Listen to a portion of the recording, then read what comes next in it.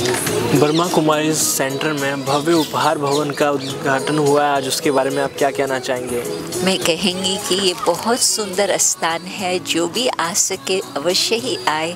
और हमारा सारे जो कोर्सेज है stress management meditation course positive thinking course जिन बातों की आज जीवन में बहुत ही आवश्यकता है वो फ्री हम सिखाते हैं आ सक आकर के कुछ प्राप्ति कर सकेंगे।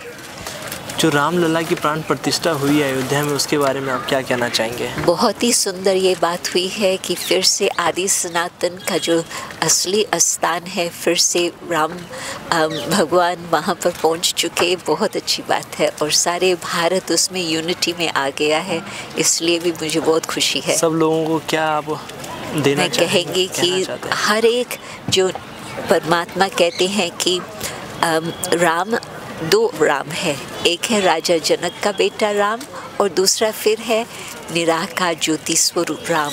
तो जितना वो खुद को जानेंगे राम को पहचानेंगे उतना उनके जीवन में बहुत खुशी आएँगे। ओम के बारे में क्या कहना चाहेंगे? ओम के ओम का बहुत सहज अर्थ है। मैं आत्मा हूँ। मैं हूँ आत्मा। क्योंकि ओम कहने से अंदर की यात्रा शुरू हो जाती। ओम आकार है निराकार है। ओम निराकार आत्मा में हूँ और आज इस शरीर में साकार में मैं आई हूँ परंतु मैं हूँ निराकार। धन्यवाद। Thank you ji.